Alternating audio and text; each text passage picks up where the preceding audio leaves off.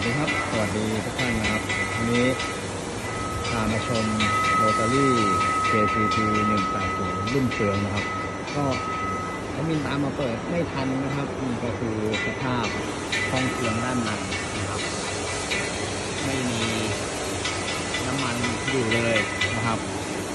แต่ว่าก็ยังใช้งานได้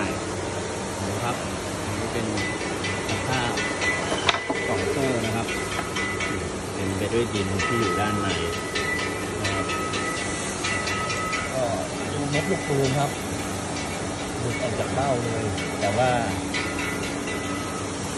ตัวฟันสไตล์มันก็ยังใช้งานได้นะครับ ไม่มีรอยแตกอะไร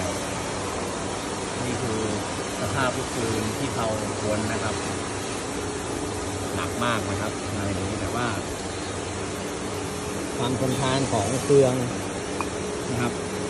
ก็ดูครับ ไม่มีรอยบิดรอยแตกนี่ก็เป็นเครื่องสะพานตัวกลางนะครับ ส่วนอันนี้เป็นเครื่องตัวล่างนะครับ ก็ส่วนใหญ่ก็สึกหลอจากการใช้งานนะครับ แต่ว่าโดยสภาพที่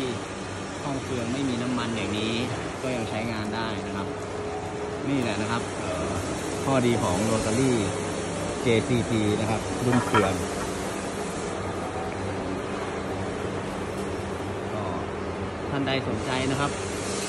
0819943678 นะครับ ลองเปลี่ยนมาใช้เครื่องดูครับ แล้ว จะเห็นความคุ้มค่านะครับ ความทนทานของโรตารี่ JCT ระบบเครื่องขอบคุณครับ